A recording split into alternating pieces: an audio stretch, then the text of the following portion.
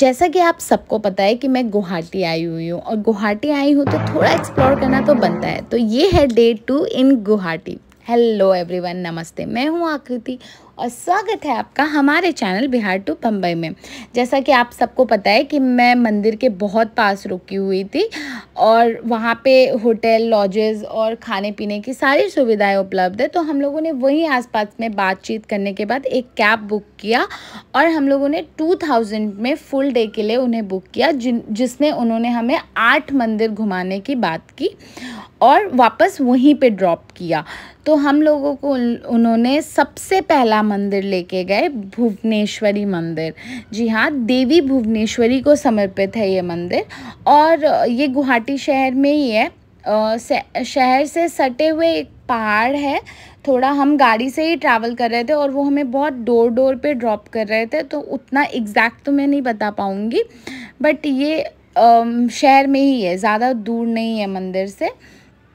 और जैसा कि मैंने आपको बताया था कि सारे मंदिरों में यहाँ पे लाइट्स नहीं है अंदर में और किसी भी मंदिर के अंदर की फुटेज कर, रिकॉर्ड करना अलाउड नहीं है।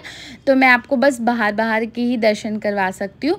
बट हमें मैं एक चीज़ आपको बताना चाहूँगी कि ये पहाड़ी से जो ये मंदिर थे, वहाँ से ब्रह्मपुत्र नदी पर सूर्यास्त अगर आप देख पाओ तो ज़रूर देखना। वो बहुत ब्यूटीफुल होता है। वहाँ के लोग बता रहे थे कि ये काफ़ी क्योंकि ऊंचाई पे है तो वहाँ से आपको सूर्यास्त बहुत ब्यूटीफुल दिखता है। तो हमारे पास इत, बहुत लिमिटेड टाइम था, जिसमें हमें आठों मंदिर दर्शन करने थे और उसमें भी कुछ कुछ मंदिरों के टाइमिंग थे तो हम लोग ज़्यादा वेट नहीं कर सकते थे। बट आपके पास टाइम हो तो सारे मंदिरों में टाइम ले लेके घूमना। उसके बाद ये सेकेंड मंदिर हम लोग पहुँचे, इसको, इसे कहते हैं शुक्रेश्वर मंदिर। ये मंदिर मैं बता नहीं सकती हूँ आपको, बहुत ब्यूटीफुल था, बहुत ब्यूटीफुल अगेन हमारे पास टाइम बहुत कम था। हमें फटाफट फटाफट फटाफट घूम के दूसरे मंदिर में पहुँचना था। नहीं तो मतलब अगर हमारे पास टाइम होता तो हम यहाँ पे और भी ज़्यादा टाइम लेते। और ये जो मंदिर है ये बहुत ही महत्वपूर्ण शिव मंदिरों में से एक माना जाता है हमारे असम में या गुवाहाटी में। और ये पान बाज़ार इलाका है, जो कि अगेन ब्रह्मपुत्र नदी के दक्षिणी तट पर है ये मंदिर। और यहाँ पे इस मंदिर, ये जिस पहाड़ी पे बना हुआ है, उसे ईटाखुली पहाड़ी पर स्थित किया गया है। और मंदिर के जो परिसर है, उससे ही आपको पूरा नदी दिख दिखता है ब्रह्मपुत्र नदी। आप यहाँ भी बैठ के अगेन पूरा टाइम दे के डूबते सूरज, उगते सूरज को देख सकते हो और बहुत बहुत ब्यूटीफुल लगता है बिकॉज़ वहाँ से आपको सारी नावें दिखती हैं और पूरा व्यू बहुत ही ब्यूटीफुल है। तो अगर आप के पास काफ़ी टाइम हो तो आप बहुत बहुत बहुत सारा टाइम लेके इसे देख सकते हो और यहाँ पे भगवान शिव का सबसे बड़ा शिवलिंग भी है तो तो प्लीज़ टाइम लेके आप देखना। उसके बाद हम लोग के पास सेंस टाइम नहीं था, बहुत हरी हरी हरी में हम लोग वहाँ से निकले। वहाँ से हम गए डायरेक्ट श्री उमानंद मंदिर। उमानंद मंदिर जाने के लिए आपको बोट या फेरी लेनी होती है। दो टाइप का वहाँ से ट्रांसपोर्ट है, जो कि एक है या तो आप डायरेक्ट लोगे और दूसरी आपको मिलती है फेरी जो कि टाइमिंग वाइज चलती है। अगेन दैट्स वो गवर्नमेंट वाली है शायद और ये प्राइवेट uh, है। तो हम गवर्नमेंट वाले से नहीं जा सकते थे बिकॉज़ उसमें एक टाइमिंग थी और हम सिंस हम टाइमिंग के लिए बहुत बंधे हुए थे हमें पूरा ही दिन में पूरा कवर करना था और वो भी दिन दिन में ही हमारे पास रात भी नहीं थी। तो हमने प्राइवेट ही किया। तो जैसा हमने पूछ के पता किया जो गवर्नमेंट वाली फेरीज चलती है उसमें आपको thirty to forty rupees per person लगता है, जो कि आना जाना दोनों साइड का होता है। और जो आपकी ये प्राइवेट वाली बोट्स है, जो इसमें आपको two hundred to three hundred लगता है, वो भी सीज़न के ऊपर डिपेंड करता है। सिंस अभी हम लोग गए थे तो इतनी भीड़ नहीं हो रही थी तो हम लोगों ने टू हंड्रेड पर पर्सन जाना आना दोनों साइड का पे किया।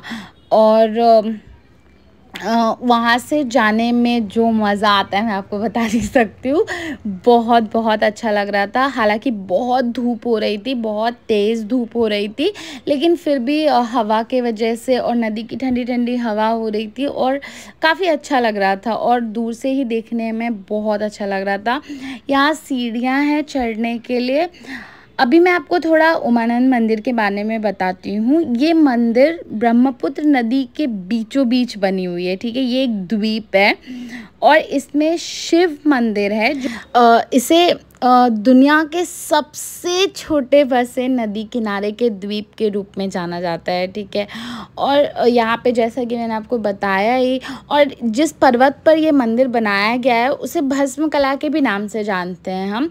और ये मंदिर काफ़ी लाइक भूकंप जब भी आया था, उस टाइम पे थोड़ा टूट गया था, बहुत डैमेज हो गया था, वहाँ के लोगों से थोड़ा बहुत पता चला, लेकिन बहुत बहुत शांति और सुकून है। जैसे कि बता बताते हैं गुवाहाटी में बहुत सारे पेड़ पौधे और जो ग्रीनरी है ना, वो देखने को हर हर मंदिर में मिल रहा था। अगेन मैं मंदिर के अंदर की फुटेज नहीं दिखा सकती और मैं आपको एक चीज़ और बताऊँगी इंटरेस्टिंग यहाँ पे ना ऑलमोस्ट सारी मंदिरें जो है ना, वो एक डेफ्थ में जाके लाइक सीढ़ियों से आपको नीचे मंदिर में उतरना पड़ता है, जो माता का स्थान है या जो भी शिव भगवान का स्थान है। सारे मंदिरों में ऑलमोस्ट आपको सीढ़ियों से नीचे उतरना पड़ता है। और अंदर की तरफ़ लाइक मैं अंदर की बात कर, बता रही हूँ आपको, जहाँ का मैं फुटेज आपको नहीं दिखा पा रही हूँ, सारी मंदिरों में ऑलमोस्ट और सभी मंदिरों में लाइट्स नहीं है, बिल्कुल भी लाइट्स नहीं है। सभी मंदिरों में आपको दिया, दिए की जो रोशनी है, या जो भी जल रहा है, या उन्हीं उन्हीं लाइट से आप दर्शन करते हो। यहाँ पे कोई बल्ब या लाइट्स नहीं लगाए गए हैं, जिससे कि आपको दर्शन करना है। और एक डेफ्थ में है जाने में और बहुत मंदिरों के तो अंदर की सीढ़ियाँ बहुत खड़ी है बहुत खड़ी चढ़ाई है। लेकिन मैं बताना चाहूँगी बहुत बहुत अच्छा लगा। स्पेशली ये न, आ, मंदिर को आप किधर से भी देखो, कहीं से भी देखो, आपको एक तो ब्रह्मपुत्र नदी दिखती है तो वो ऑल और अपने आप में बहुत ब्यूटीफुल लगता है। नदी के बीचों बीच रहते हो आप और दूसरी चीज़, हर तरफ़ ग्रीनरी है तो मतलब पूछो ही मत। और फिर उसके बाद आप बोट का मज़ा लो और आप आप घूम भी सकते हो, चाहिए तो बोट में भी। अगर आपको चाहिए तो मैं एक उमानंद मंदिर के ऊपर फुल वीडियो बनाऊँगी। Uh, मेरे पास और भी बहुत सारा फुटेज है। यहाँ पे रोपवे भी है तो हम लोग देख के काफ़ी एक्साइटेड हो गए थे कि रोपवे में क्या है।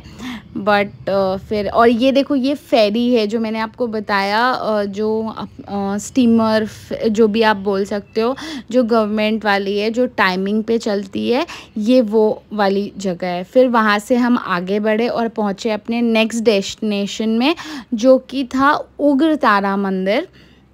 अब आते हैं उग्र तारा मंदिर के बारे में थोड़ा जानते हैं। सो so, ये मंदिर असम के गुवाहाटी के पूर्वी भाग में उजान बाज़ार में उग्र तारा मंदिर है ठीक है? ये एक शक्ति मंदिर है और किम किमदंती है कि शिव की पहली पत्नी सती के नाभि इस मंदिर से संबंधित है। और उग्र तारा का वर्तमान मंदिर, अहोम राजा शिव सिंह ने 1725 ईस्वी में बनवाया था, ठीक है? जिन्होंने तीन साल पहले एक टैंक की खुदाई की थी, जिसे जोरे पुखुरी के नाम से जाना जाता है। और मैं आपको बता दूँ कि उग्र तारा के जो गर्भगृह है, जो मेन मंदिर है उसमें कोई भी छवि या मूर्ति नहीं है। अंदर में पानी से भरा हुआ एक छोटा सा गड्ढा है और उसे ही देवी माना जाता है। उग्र तारा के बगल में एक शिवालय भी है और और वहाँ से हम फटाफट निकले और आए अपने अगली मंजिल की तरफ़ और ये था नवग्रह मंदिर। अगेन नवग्रह मंदिर भी आसाम गुवाहाटी के शहर में ही है, लेकिन ये चित्रांचल पहाड़ पर स्थित है और ये भी एक बहुत प्राचीन और पुराना मंदिर है। इसमें जो अंदर में मंदिर है, यहाँ सूर्य को धारण किए नौ ग्रहों के शिलाशेख हैं। और उनमें आप जान ही सकते हो कौन कौन से नवग्रह हैं। और अंदर में अगेन सारे मंदिरों के जैसे कोई लाइट एंड इलेक्ट्रिसिटी नहीं है, सिर्फ़ दिए की रोशनी है, पर ज़रूर आना एक बार। और वहाँ से हम निकले हमारे वैष्णो देवी मंदिर वैष्णो देवी मंदिर अगर आप सोच रहे हो वैष्णो देवी जैसा है तो एग्जैक्टली exactly तो नहीं है बट यहाँ थोड़ा सा उन लोगों ने पहाड़ जैसा लुक दिया हुआ है और अंदर में माता की मूर्ति है। अभी यहाँ पे उन्होंने बाहर में एक बोर्ड लगा दिया था, जिसमें लिखा था क्लियरली कि फ़ोन नहीं ले जा सकते अंदर और ना ही वीडियो बना सकते तो हम लोगों ने ज़्यादा वीडियो तो नहीं बनाई। अंदर में देवी माँ की एक मूर्ति है और बहुत सारे छोटे छोटे भगवान हैं और एक शिवलिंग है। इतना ही दर्शन करके हम वहाँ से आगे बढ़े और हम पहुँचे बालाजी टेंपल बालाजी टेंपल में बता नहीं सकती हूँ, ये बहुत ब्यूटीफुल था। इनफैक्ट मम्मी को बहुत अच्छा लगा, बहुत अच्छा लगा। मैं आज तक बालाजी टेंपल गई नहीं हूँ तो मुझे एग्जैक्ट आइडिया तो नहीं है कि कितना रिजेंबल करता है या कितना सिमिलर है, लेकिन यहाँ जैसा भी मैंने देखा, वो मुझे बहुत बहुत अच्छा लगा। और ये मंदिर में अगेन सारे मंदिरों के जैसा फ़ोटोग्राफी एंड वीडियोग्राफी प्रोहिबिटेड था। लेकिन बाहर में एक चीज़ बहुत अच्छा लगा सिंस बहुत धूप हो रही थी, यहाँ पे पानी पीने का और पैर हाथ धोने की भी व्यवस्था थी। बाहर में प्रसाद का वो अंदर जाते के साथ एक गणेश भगवान का मंदिर और एक बालाजी भगवान का मंदिर और एक पद्मावती भगवान और एक गरुड़ भगवान का मंदिर था और यज्ञशाला बहुत ही खूबसूरत सा, बहुत ही अच्छा सा बनाया हुआ था। उसके बाद हम पहुँचने वाले थे अपने favourite destination I mean favourite मैं इसलिए बोल रही हूँ, ऐसे तो सारे मंदिर बहुत ही खूबसूरत थी, बहुत ही अच्छा लगा सब जगह जाके। लेकिन इस मंदिर में मैं जाने के लिए बहुत एक्साइटेड थी बिकॉज़ इसकी जो मैंने फुटेज गूगल पे देखी थी, वो मुझे बहुत बहुत लाइक क्यूरियस और एक्साइट कर रही थी कि क्या होगा, कैसा होगा और मुझे बहुत मन था यहाँ जाने का। अब मैं बताती हूँ, ये इस, ये जो मंदिर है, इसे हम भीमा शंकर मंदिर या भीमेश्वर धाम के नाम से जानते हैं। और ये आसाम के गुवाहाटी में पामोही के पास डाकनी पहाड़, जिसे दैनी पहाड़ भी कहते हैं, उस पर स्थित है, ठीक है? ये दोपहर दोपहर बिल के ठीक बगल में पहाड़ी पर स्थित है। और ऐसा माना जाता है कि भगवान शिव ने भीमासुर नामक राक्षस का विनाश करने और अपने भक्तों की रक्षा के लिए यहाँ अवतार लिया था, ठीक है? और डाकनी का सटीक स्थान एक बहस का विषय है। शिव पुराण और कोटि रुद्र संहिता में डाकनी पहाड़ी पर भीमाशंकर ज्योतिर्लिंग का उल्लेख है। ठीक है। और पामोही में भीमेश्वर धाम की व्याख्या भक्त उसी द्वादश ज्योतिर्लिंग के रूप में करते हैं। पुणे के भीमाशंकर धाम को कुछ लोग द्वादश ज्योतिर्लिंग भी कहते हैं। यहाँ कोई मंदिर नहीं है, इसके बजाय शिवलिंग के चारों ओर एक पहाड़ी धारा है। और लिंग के ऊपर निरंतर पानी बहता हुआ देखा जा सकता है। आई I मीन mean, मतलब मैं बता नहीं सकती हूँ आपको यहाँ आने के बाद मुझे जो सुकून वो झरने का साउंड आप सुनो एक बार ठीक है?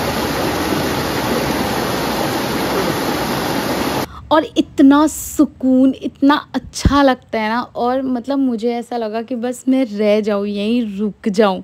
और ये इतना ब्यूटीफुल था। मतलब हम लोग बंधे हुए थे टाइम में, नहीं तो मेरा बहुत मन था और देर स्टे करने का। बट हाँ यही हमारी आठों मंदिर की जर्नी समाप्त होती है। और ये आज का ब्लॉग यहीं एंड करती हूँ मैं। होप आप सबको बहुत मज़ा आया हो। इसी तरह ढेर सारा प्यार देते रहिएगा। कुछ भी पूछना हो तो मैं से कमेंट्स में आप पूछ सकते हो। Thank you so much for watching thank you so much इतना सारा प्यार देने के लिए। नए हो तो सब्सक्राइब करना मत भूल